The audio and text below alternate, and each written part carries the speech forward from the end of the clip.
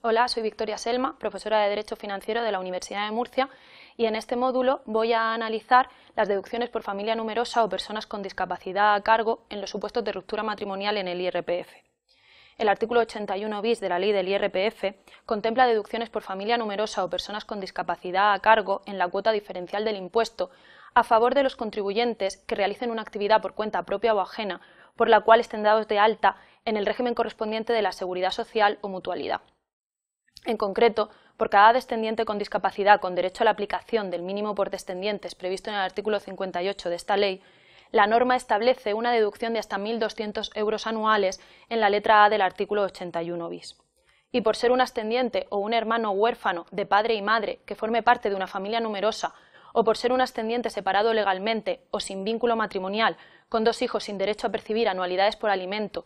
y por los que tenga derecho a la totalidad del mínimo previsto en el artículo 52 de la ley del IRPF, se establece una deducción de hasta 1.200 euros anuales, en la letra C del artículo 81 bis. Sin embargo, en los casos en los que ha existido una ruptura matrimonial y existe custodia compartida, se plantean una serie de problemas en torno a cómo se deben instrumentar estas deducciones. Pues bien, la deducción por descendientes con discapacidad podrá ser aplicada por ambos progenitores en caso de custodia compartida, en este sentido, el mencionado artículo 81 bis 1, en su último párrafo, señala que cuando dos o más contribuyentes tengan derecho a la aplicación de alguna de las anteriores deducciones respecto de un mismo descendiente, ascendiente o familia numerosa, su importe se prorrateará entre ellos por partes iguales.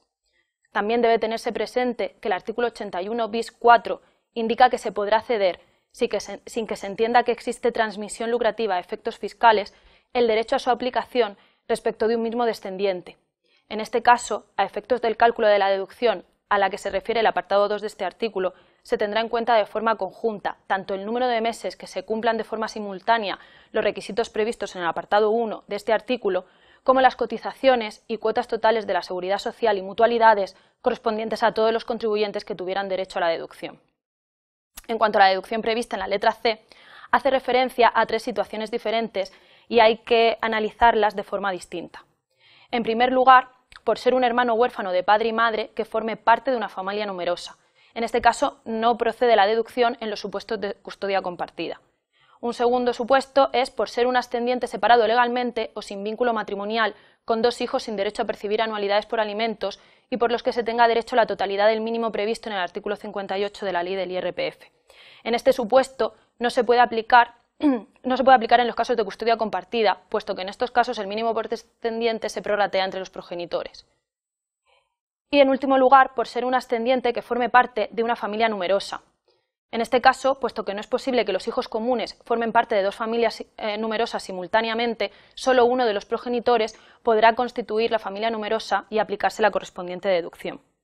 La normativa sobre familia numerosa señala que ante la falta de acuerdo entre los progenitores tendrá prevalencia el criterio de la convivencia. Este criterio, en los casos de custodia compartida, tampoco es válido, por lo que obligatoriamente la situación se tendrá que solventar llegando a un convenio. Muchas gracias por su atención.